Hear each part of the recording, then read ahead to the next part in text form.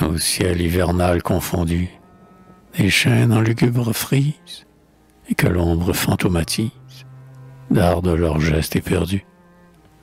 Comme un lourd bétail assoupi, chargé de noirâtre crinière, genêt fripé, myrtille, bruyère, des rochers dorment accroupis.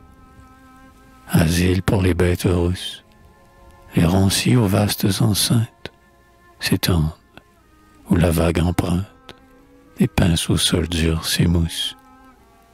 Dans un repli marécageux, du bois, un peu d'eau sombre grogne, et très loin une hache cogne, très loin l'horizon neigeux.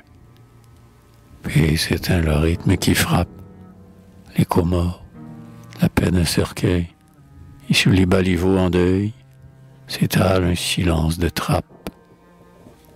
Volant les rameaux corrodés, la neige insensiblement tombe, et, seul vivant, parmi la combe, fuit un sanglier déhardé.